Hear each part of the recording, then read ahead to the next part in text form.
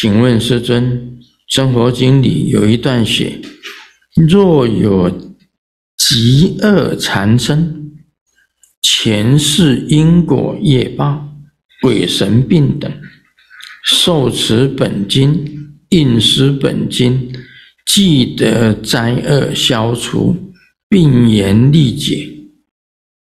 请问师尊，弟子知道照《真佛经》写的。持诵真佛经及印施真佛经，回向给精神病患者，是否可以减轻精神病患者的业障呢？弟子一面恳请求师尊慈悲开示。是啊，因为印经是有功德的，印经的功德很大，你印善书、印经。功德都非常的大